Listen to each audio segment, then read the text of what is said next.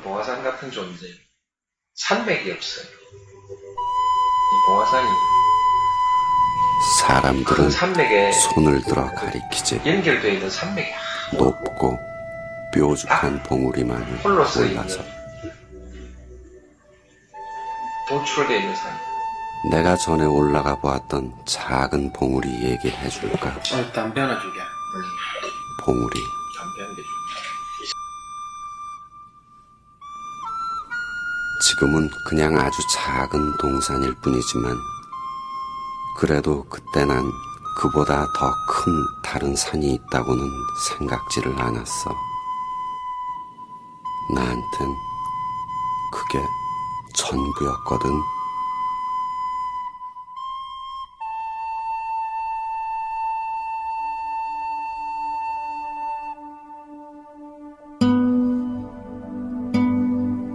혼자였지.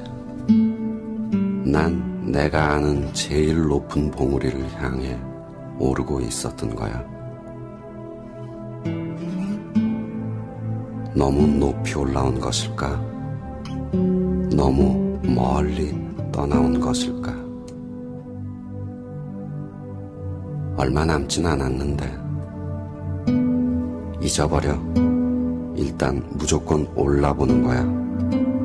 봉우리에 올라서서 손을 흔드는 거야. 고함도 치면서. 지금 힘든 것은 아무것도 아니야. 저 위, 제일 높은 봉우리에서 늘어지게 한숨 잘 텐데, 뭐.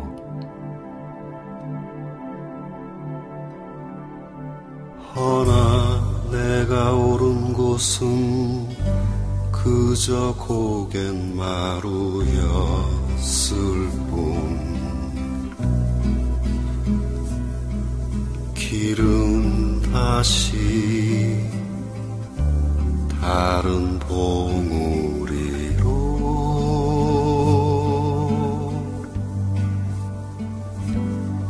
거기 부러진 나무 등걸에 걸터 앉아서 나는 봤지. 낮은 대로만 흘러 고인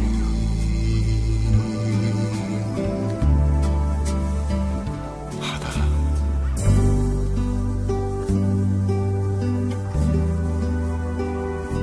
작은 배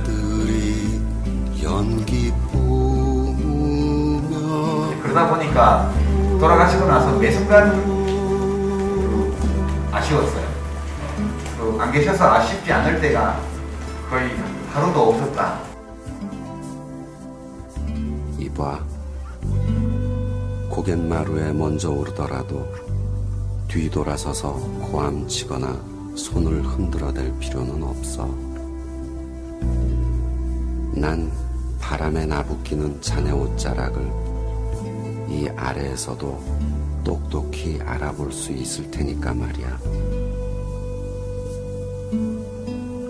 또 그렇다고 괜히 허전해 하면서 주저앉아 땀이나 닦고 그러지는 저도 마. 한때는 좀 누군가를 원망하는 마음이 바람이 식혀주겠지 뭐. 많이 힘드셨을 텐데.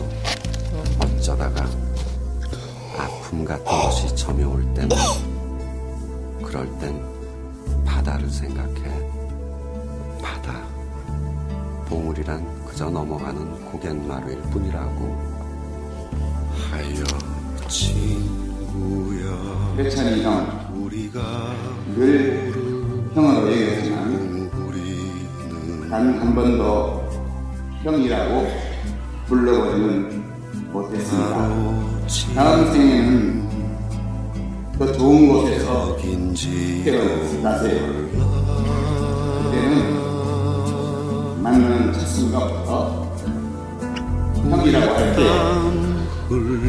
잘 가요. 형. 여기 숲 속에 좁게 난길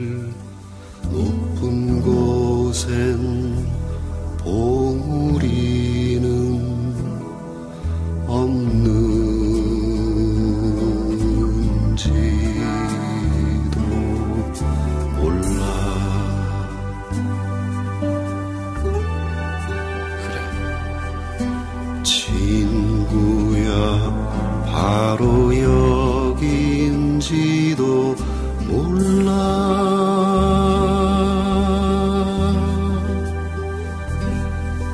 우리가 오를